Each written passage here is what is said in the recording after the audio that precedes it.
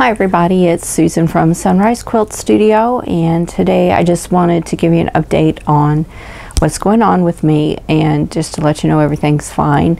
Uh, I don't have a tutorial today. I haven't had time to work on that. but we are moved.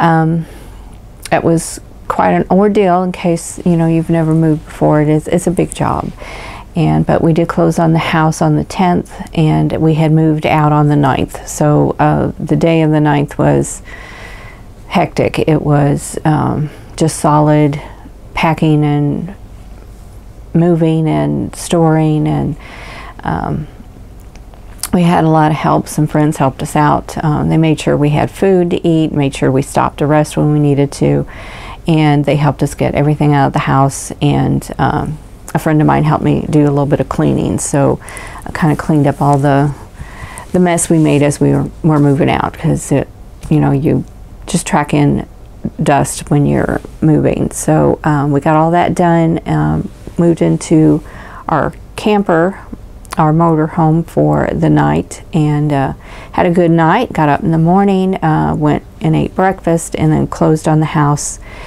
And um, then we did a little bit of shopping and we came back and just kind of settled in. Now, um, we're still settling in. Uh, things haven't gone as smoothly as we would have hoped, but they're, they're okay. Um, we didn't have time to get any propane in the tank in the motorhome, but the first night it was warm, so we didn't need it.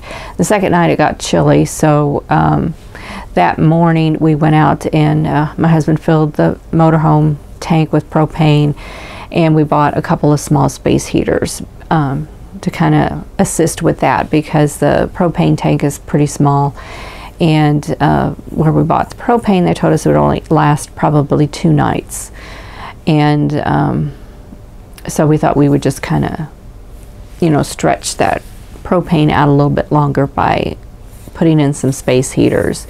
And actually, the camper is heated pretty well with those two space heaters. Um, we just need the propane as a little boost instead of the other way around. So um, that worked out well. Another thing we're working on though is um, the camper has already been winterized, which means they put that food grade antifreeze in the pipes. And uh, so we need to flush that out and then fill the tank with fresh water. But right now we're where we're parked, we don't need that because we have access to the building with, you know, showers and, um, you know, fresh water. So we're fine there. But that's something we'll be working on in the next couple of weeks. Uh, another issue we found out is that um, the electricity that we're plugged into um, for the last two evenings has been uh, tripping the breaker and um, in the building where we're plugged up to. So um, that outlet that we're using is also hooked up to um, a parking lot light. Um, and it, it's like it can't handle both of them at the same time. So um, we have to keep going back and forth and resetting the breaker.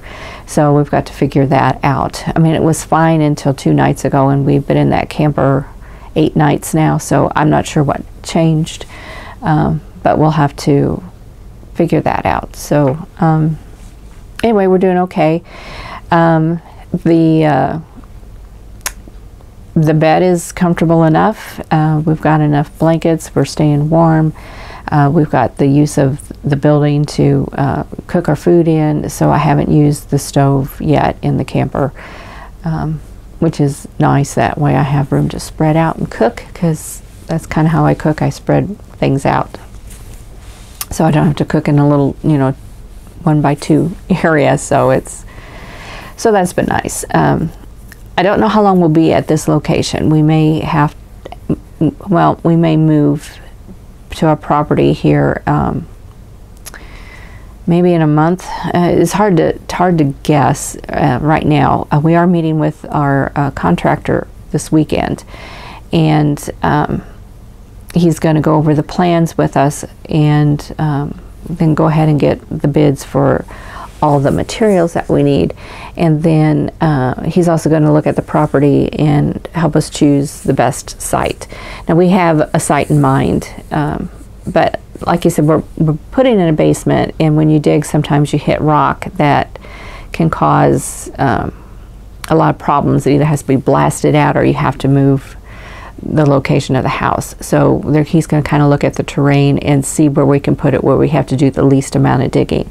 And that's pretty much where we had planned on putting the house anyway. So I don't think that's going to be, the location of the house isn't going to be a whole lot different. This is going to be a, a walkout basement because our lot is slanted. And so a walkout basement would probably be the best thing to do. And also that way my husband has a place for all his woodworking equipment and tools and all of that stuff. So he'll he'll use the basement for that. And I'll have a section of it for um, quilting. So it'll be a bigger basement than what we had at the other house. The other house just had a basement under half of the house. It wasn't a full basement, so it was a little tight in there. Um, so we've got all of that going on this weekend, and, and then of course Thanksgiving is coming. All my kids are coming home. Um, to where we're at to our camper and uh, where we're staying right now is at in the the lot that our church is built on. It has a it's a five acre lot, and they already had set up um, a space for people to transition when they're in transition between homes where you can plug in your camper and that kind of thing. So that was already there and they already approved that. So that's where we're staying. So we're going to use the church kitchen uh, to do our cooking and we'll have Thanksgiving there. So it's, it's only going to be seven or eight of us. It's not going to be a big group.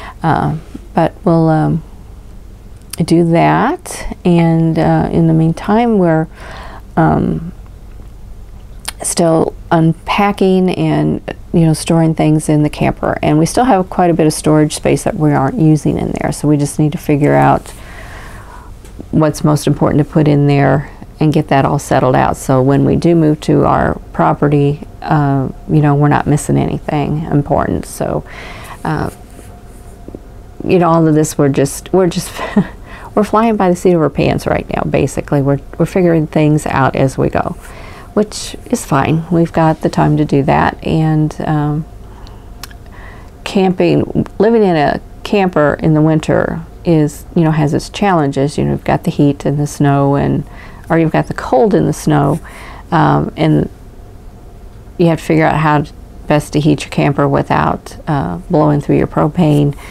Um, how to insulate it and that kind of thing. So we're working on that too. So we got lots of stuff going on. Um, and this morning is work day and um, so I'm filming this before I go to my office. This is the library right now but I'll go into the to my office and do my job and um, and it's a it's a short day. I'll have half day and then my daughter and I are going to go shopping afterwards because um, she wants uh, she's she's using a um, sleeping bag because that's the warmest thing for her. We and my husband and I are sleeping under three quilts right now, and um, and and it's kind of funny when you lay layer quilts on your bed. They, for us anyway, all the all the quilts want to ease down to the end of the bed, but they ease down at different different rates. Like the one on the very bottom, which is would be on top of us, that one goes down first and then the one on the top goes down second, and the one in the middle goes down third. So we're constantly pulling them up during the night.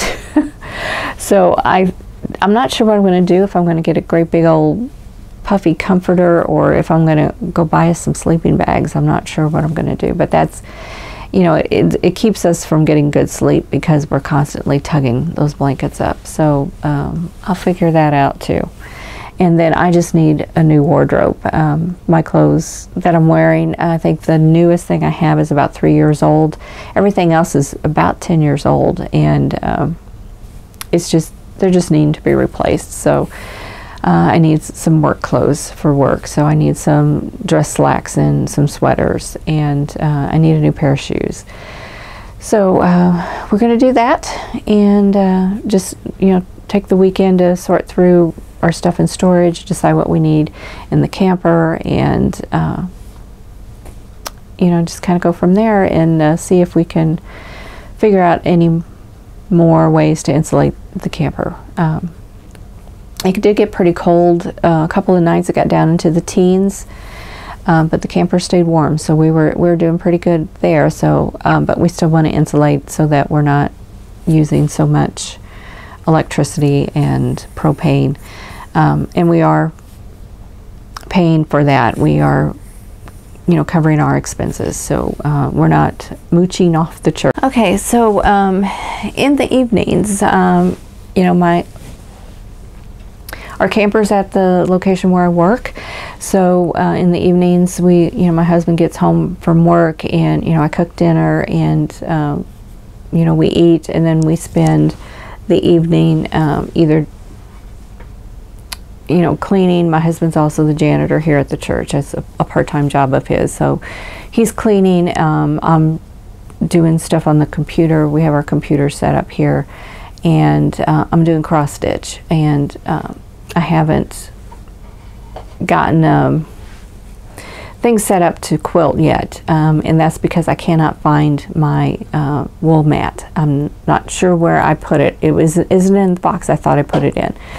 So um, I'm going to have to go out and get something else. So I don't want to pull in my full-size ironing board in here. So um, I'll either get another wool mat or I'll get one of those um, press and cut mats where you know you it has a cutting mat on one side and then a pressing mat on the other and you can just flip it back and forth. So um, I might get one of those. And I have one of those and I don't know where that one is either. So it's a problem when all your stuff is in storage. Um, it's hard to get to it. And it may be in uh, the storage unit um, that the, the furniture movers packed for us, and they pack that top to bottom, front to back. And um, there's no way to get to anything unless you want to pull everything out. So we don't want to do that because we'll never get it all back in. So that is going to stay there until the house is built and we move in there. So that was supposed to be all stuff that we weren't going to need. That was the intention anyway. That's the stuff I had them move. But I may have accidentally put my ironing mat and uh, my press and cut in one of those boxes that's in there. I don't. I just don't know. Um, things got kind of hectic there, and uh, so anyway, things are kind of lost in storage unit. they're there, I just don't know where they are and I can't get to them. So um, I'm buying a couple of uh, pieces of equipment for tools for quilting and then hopefully next week I don't know if I'll have time to do a video or not. Uh, we'll have to kind of play that by ear. But um, hopefully I can get a tutorial done because I still, I do have the fabric here um, that I wanted to do uh, the Christmas ornaments with. So I have that here. So I wanted to get started on that. And um, then I have the other fabric that I have planned for a quilt that it's a spring quilt. So I'm going to go ahead and get started on that next after the Christmas ornaments. So hopefully um, that will go a little smoother once I get everything located. so I think I have glance behind me to see. I think I have my rotary cutter and my rulers. My ruler is, yeah, my rotary cutter and my rulers are in with my sewing machine, so I've got that. So, and so that's all here. It's just the ironing, the pressing things that I'm missing. So I need to get those. And then my cutting mat is, the, is here on the floor. It's laying on the floor. So I got almost all the stuff, but I just missed the ironing stuff. And that's another thing, my iron, I don't know where that's at either. So I may have to get another iron. I think I'll get a travel iron. Um, I had one of those years ago, worked fine. So I'll have to, I think I'll do that. I'll get, I'll write that on my list. I need a travel iron. I need a press and cut mat uh, or wool mat. And uh, then I should be pretty much ready to go. So anyway, that is the update for now. Um, I'll keep you updated as things go on, and um, I hope you're all having a good month, and hope you all have a good Thanksgiving. I hope you have lots of family time, and I'll see you in the next video. Thanks for watching. For more quilting ideas, click on the video links. And to keep up with my latest projects, click on the subscribe button. I hope to see you again soon.